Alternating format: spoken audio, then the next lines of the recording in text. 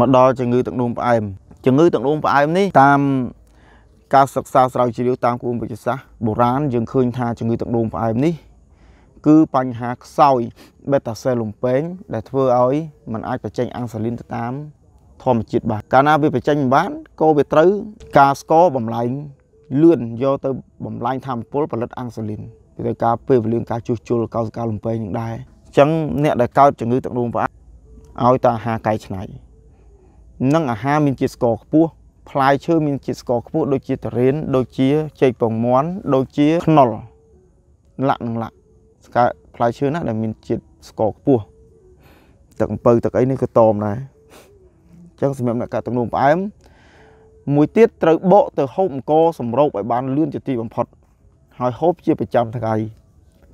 មិនតែអ្នកកើតទឹកនោមផ្អែមទេអ្នកអត់កើតក៏ត្រូវតែប្រើដែរ ទោះបីជាឥឡូវហ្នឹងគ្មានកបុកដៃឥឡូវយើងបបួលគ្នាទៅកំងទៅឲ្យកិនសល់សម្រូបកុំឲ្យកិនសិតសអស់លីងឆាញ់អញ្ចឹងវាអត់ល្អទេអាហ្នឹងមួយរឿងមួយរឿងទៀតចាក់អាំងសាលីនក្បាលពោះត្រូវតែឈប់ជាមិនទាន់ការចាក់អាំងសាលីនក្បាលពោះវាអត់អាចជួយឲ្យយើងបានទេវាគ្រាន់តែធ្វើឲ្យយើងសុបាយចិត្តមកមកពេលខ្លីចាក់អាំងសាលីនសម្បត្តិនិមិត្តក្បាលពោះដើម្បីបញ្ចុះជាតិស្ករតែទីបំផុតជាតិស្ករនៅតែឡើងហើយយើងត្រូវចាក់រហូតដល់ស្លាប់ឬ យើងទៅគិតឡើងហ្នឹងអញ្ចឹងបានថាយើងកុំព្យាបាលទៅលើរោគសញ្ញា យើងព្យាបាលទៅលើមូលហេតុដែលនាំឲ្យកើតរោគមូលហេតុនាំឲ្យកើតរោគយើងដឹងហើយថាវាមកពីមូលហេតុអីមូលហេតុវាមកពីខ្សោយបេតាសែលលំពេងដែលវាពិបាកมันអាចផលិតអាំងសាលីនបានអញ្ចឹងយើងត្រូវធ្វើម៉េចដើម្បីឲ្យកោសិកាបេតាសែលលំពេងនឹងផលិតអាំងសាលីនបាន វាត្រូវការអីវាត្រូវការធម៌ពលសម្រាប់ផលិតអាំងសាលីននឹង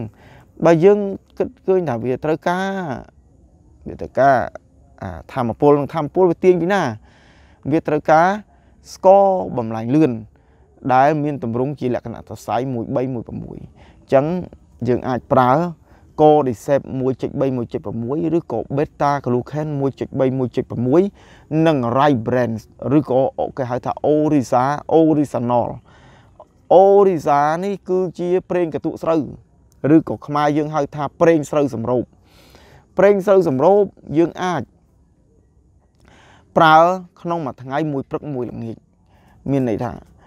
ជប៉ុនគេបើកទឹកដោះស្រូវយកមកសូនចេញទៅជាផលិតផលគេថា rice brand ហើយយើងប្រើមួយព្រឹកមួយល្ងាចទៅហើយយើងហូបអង្គសម្រូបជាប្រចាំថ្ងៃផងដែរក្រៅពីនេះ គឺយើងប្រើថ្នាំខ្មែរប្រភេទស្ងោរនេះជារៀងរាល់ថ្ងៃ ដើម្បីធ្វើការជួសជុលឲ្យលំពេងនឹងដើរមកវិញឲ្យវាអាចផលិតអាំងសាលីនតាមធម្មជាតិមកវិញវាដូចតែយើងមានម៉ាស៊ីនតែម៉ាស៊ីនផលិតរបស់យើងនឹងវាគាំងអញ្ចឹងយើងកុំព្យាយាមទៅប្រើរបស់សពនិមិត្តយើងត្រូវធ្វើម៉េចឲ្យម៉ាស៊ីនយើងនឹងផលិតបានតាមធម្មជាតិវិញគឺផលិតអាំងសាលីនតាមធម្មជាតិមកវិញទៅគ្រប់គ្រងជាតិស្ករជាបានស្វ័យប្រវត្តិដូច្នេះខ្ញុំចង់ប្រាប់បងប្អូនថាគ្មានអីល្អជាងធម្មជាតិទេជំងឺទឹកនោមផ្អែមក្តីជំងឺលើសឈាមក្តីថ្នាំស្ងោរ ថ្នាំខ្មែរយើងនេះអស់តែ3ឆ្នាំទៅ5ឆ្នាំយើងដឹងធូរហើយប្រើជាប់វាជាប្រចាំជំងឺទឹកនោមផ្អែមនេះមិនមែនប្រកាសតែព្យាបាលមិនជាទេព្យាបាលជា តែឲ្យចេះព្រឹត្តព្រៀងរបបអាហារគេងឲ្យបានគ្រប់គ្រាន់លំហាត់ប្រាណត្រឹមត្រូវ មានសមាធិក្នុងមួយថ្ងៃ5 10ទៅ20នាទីឬក៏កន្លះម៉ោងហើយប្រើអង្គសម្រូបប្រើ ថ្នាំខ្មែរប្រើអាហារអំពនដូច Spiro ដូច Rai Brand នេះมันអាចកាត់បានទេ Beta Glucan 1.3 1.6នេះมันអាចអត់បានទេ ត្រូវតែប្រើប៉ុណ្ណឹងអញ្ចឹងថ្នាំខ្មែរនេះអាចជួយលោកអ្នកបាន តែត្រូវប្រើឲ្យជាប់3ឆ្នាំទៅ5ឆ្នាំយ៉ាងតិចបានអាចរាប់ថាបានជាសះស្បើយបើត្រឹមតែ3 4 5ឆ្នាំក៏រាប់ថាធូរបានធូរ ចឹងប្រើតែមកធូរប្រើធ្វើអីបើយើងស្រោចបន្លែយើងស្រោចស្រោចឲ្យវាជោគហើយបើយើងគ្រាន់តែជះតែមកមកមកកូនពេញអាកោនេះយើងទៅស្រោចធ្វើអីដូច្នេះយើងត្រូវយល់ថាប្រភេទជំងឺរ៉ំរ៉ៃនេះវាត្រូវការប្រើពេលយូរដែរនៅក្នុងការព្យាបាល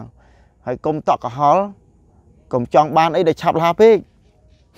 ដូចជាបុកមកមជុលដកមជុលមកវិញជាស្ករចុះវាមិនប្រកាសថាយើងសុបាយចិត្តទេ